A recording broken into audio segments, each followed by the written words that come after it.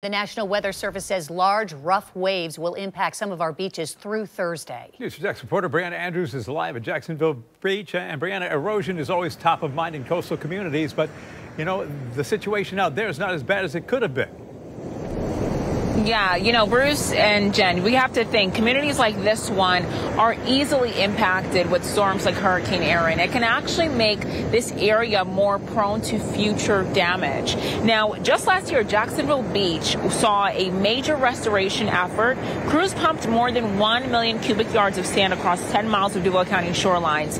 The federally funded project cost more than $32 million and aimed to strengthen the coast, safeguard sea turtle habitats, and prepare the beach for storms like Erin.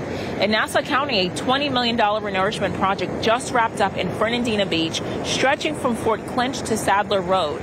Since May, contractors have been working non-stop to, be, to rebuild the shoreline. But even with all of that progress, Erin's strong winds could still reshape the coast. People in the area already noticing some changes.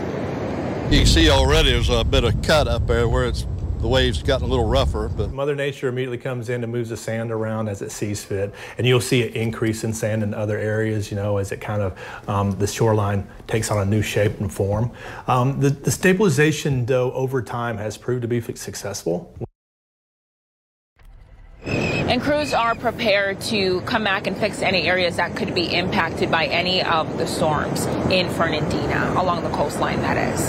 For now, I'm reporting live. Brianna Andrews, Channel 4, the local station.